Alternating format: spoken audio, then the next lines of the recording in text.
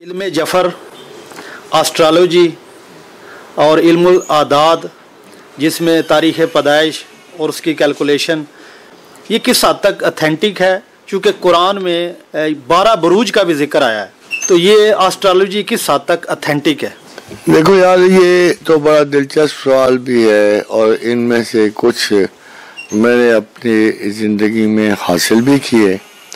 مگر میرے حصول کا مقصد صرف ایک تھا کہ سچائی کس علم میں موجود ہے اور کس علم میں نہیں ہے تاکہ میں اسے پراپرلی پرسو کر سکوں۔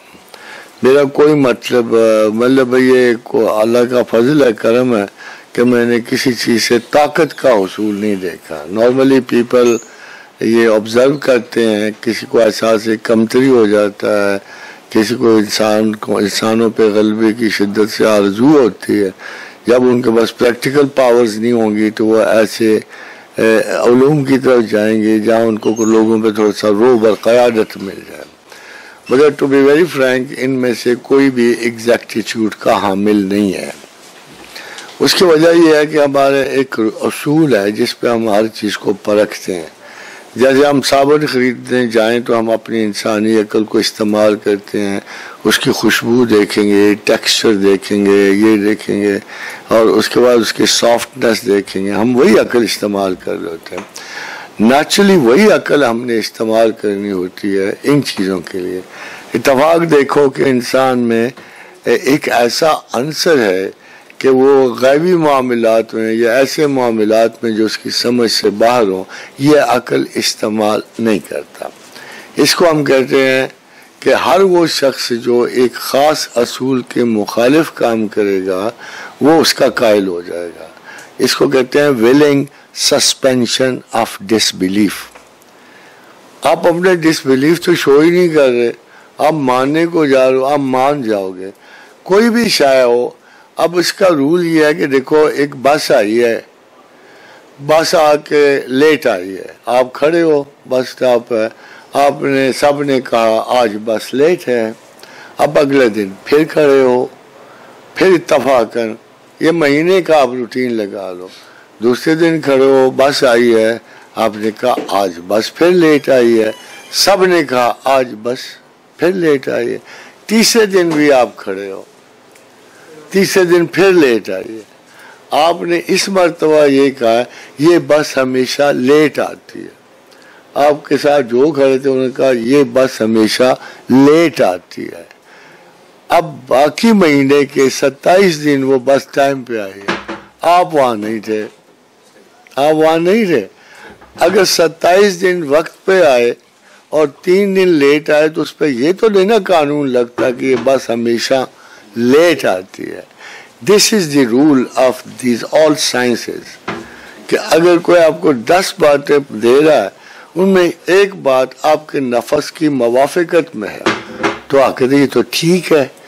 بعض لوگ ایک بات پہ یقین کی وجہ سے ہنڈریڈ پرسینٹ ساری باتوں پہ یقین کر لیتے ہیں یہ ٹھیک ہے علم۔ تمام اکلٹ کا ایک ہی اصول ہے کہ اس کی ایوریجز یہ ہیں۔ Maximum three out of ten یا ہنڈریڈ اور اس کی وجہ سے ہم پورے ایک سبجیکٹ کو تصدیق دے دیتے ہیں. But I gone through these knowledge یہ صرف میک بلیف اور اکلٹ ہے. فراست انسان کی زیادہ ہو تو اس کو بہتر نتائج مل جاتے ہیں. اور فراست میں بہت ساری چیزیں اکٹھی شامل ہوتی ہیں. سارا کلٹ شامل ہو جاتا ہے. کئی ہاتھ شامل ہو جاتے ہیں، کئی ستارے شامل ہو جاتے ہیں۔ آپ نے جو کہا کہ بروج بنائے ہیں، وہ میں آپ کو اس کی مثال دیتا ہوں کہ وہ سائنس ثابت کرے گی، ایسٹرالوجی نہیں ثابت کرے گی، ایسٹرانومی ثابت کرے گی۔ جب ایک دفعہ امریکہ مجھے ایک professor of quantum relativity, professor نے پوچھا کہ how do you find God تو میں نے کہا جب ہماری اور اللہ کی دعا کی اور لفظ کی اور قبولیت دعا کی فریکوینسی ایک ہو جائے۔ تو میں سمجھتا ہوں ایک کوریڈور سا کھل گیا، جس کے ایک طرف میں ہوں، دوسری طرف میرا اللہ ہے۔ تو اس نے کہا ناٹ کوریڈورس نو اسٹیئرس میں کہا، یار تو بورڈ لفظ ہے اسٹیئرس کہتا نہیں we we live in steer یعنی head of the department quantum اور ریلیٹیوٹی کا مجھے یہ کہہ رہا ہے کہ پروفیسر ناٹ کوریڈور اسٹیئرز تو مجھے نہیں اچھا لگا، سچی بات ہے۔ مگر جب میں آیا پھر قرآن پڑھنے، تو اللہ تعالیٰ نے آپ کو صاحب معراج اپنے آپ کو کہا کہ سیڑھیوں والا رب۔ تو میرے ذہن میں اپنی یہ کوئی توہین نہیں آئی۔ میں نے کہا، دیکھو یار اللہ وہ لفظ استعمال کرتا ہے جس کی کسی بھی فیوچرسٹک سائنس میں تصدیق ہو سکے۔ تاکہ اس پہ اہل عقل گواہی دے، اہل علم گواہی دے۔ میرے لفظ کی گواہی سائنس سے نہیں نکلتی تھی، اس کے لفظ کی نکلتی ہے۔ اسٹیز پھر میں نے جب معراج کی بات پڑھی تو رسول اکرم صلی اللہ علیہ وسلم کی میں نے حدیث پڑھی کہ پھر جبریل مجھے ایک سیڑھی کے پاس لے کے آئے۔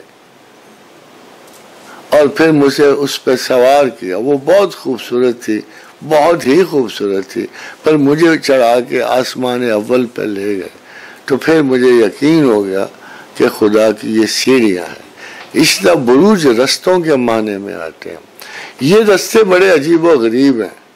ان کو میتھمیٹیشین ٹریجیکٹریز کے نام سے جانتا۔ ہے کہ یہ بہت طویل رستے میں کچھ رستے ایسے اللہ نے بنائے ہیں جس میں انٹری کے ساتھ ہی آپ آگے انٹر ہو جاتے ہیں۔ اگلے سے آسمان پہ، اگلے آسمان پہ۔ ان کے رستے چھوٹے چھوٹے سے ہیں، بہت چھوٹے ہیں۔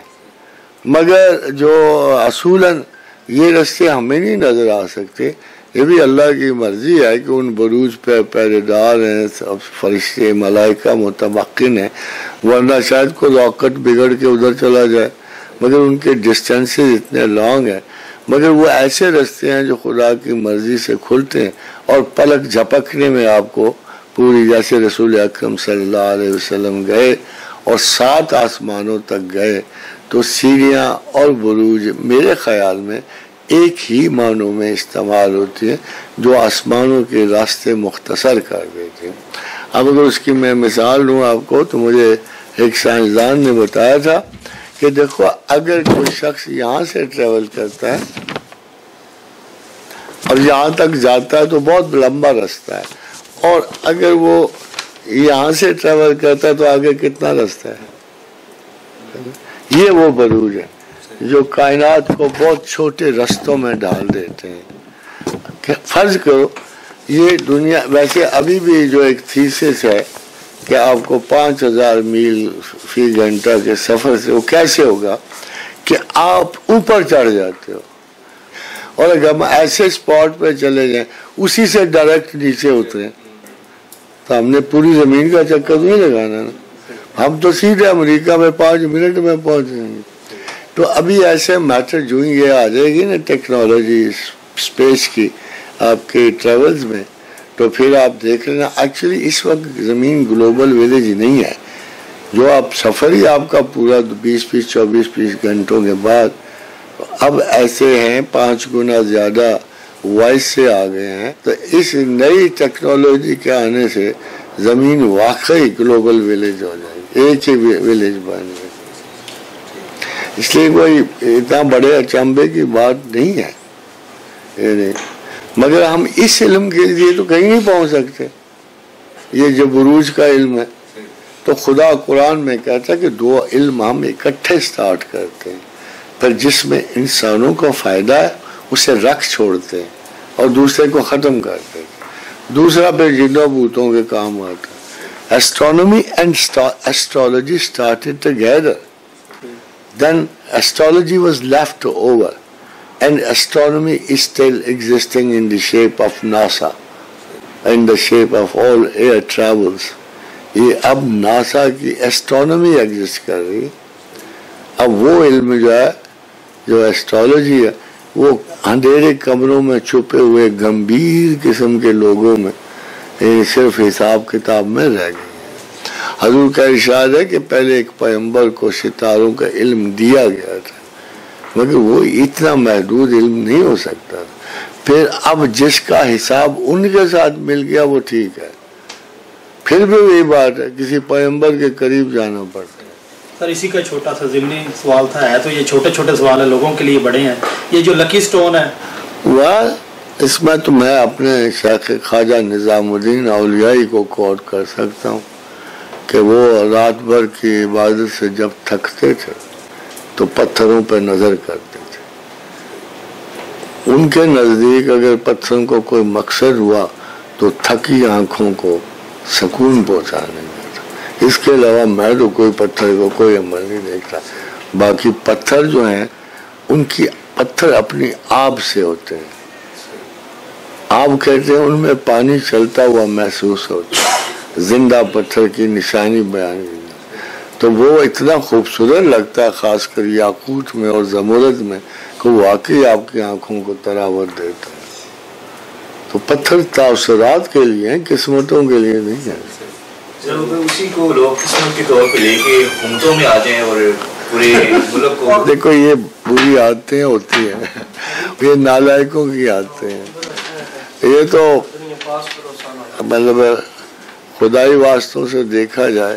تو یہ جہالتوں کے تعصب عقل کے نہیں۔ وہ اقبال نے اس پہ ایک اچھا شعر لکھا تھا کہ ستارہ کیا تجھے تقدیر کی خبر دے گا، جو خود فراخی افلاق میں ہزار و زبوں یہ پتھروں نے کیا خبر دینی اب کیا دینا؟ ہاں خوبصورت پتھر ہے قیمتی ہوں۔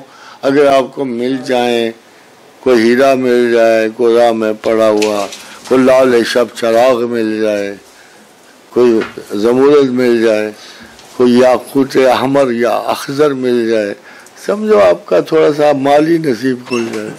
بڑے مہنگے آج کل۔